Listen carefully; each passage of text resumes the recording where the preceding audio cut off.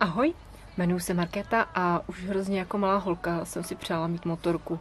Akorát, že nejdřív vám to nedovolí rodiče, eh, pak vám to eh, nedovolí finanční stránka, eh, pak vám to nedovolí, že nemáte čas, pak vám to nedovolí už zase, že se bojíte, už se vám to zase jenom líbí a takhle to celý život nějak, um, nějakým způsobem přehodnocujete až pak si řeknete, že vlastně ji nepotřebujete, že ji vlastně, že se vám to asi bude jenom líbit. Ale furt tam v tom srdíčku tady, furt uh, si říkáte, nešlo by to nějak, nebo...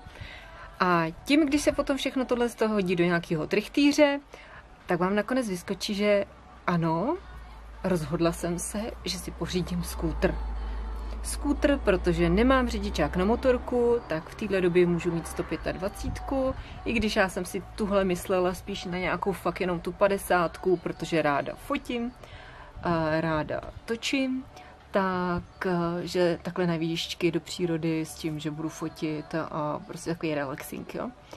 No jo, jenže manžel byl rychlejší a k Ježíšku jsem dostala 125 z kůtříka. Tak, a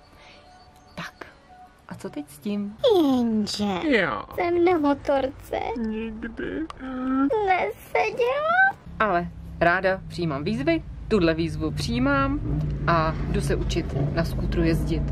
Řidičák samozřejmě mám, každý den autem jezdím, tak se podíváme, jak mi to bude na motorce. A jestli někdo si chcete tuhle tu cestičku se mnou absolvovat, že máte třeba podobný problém, pojďte do toho se mnou. Čau.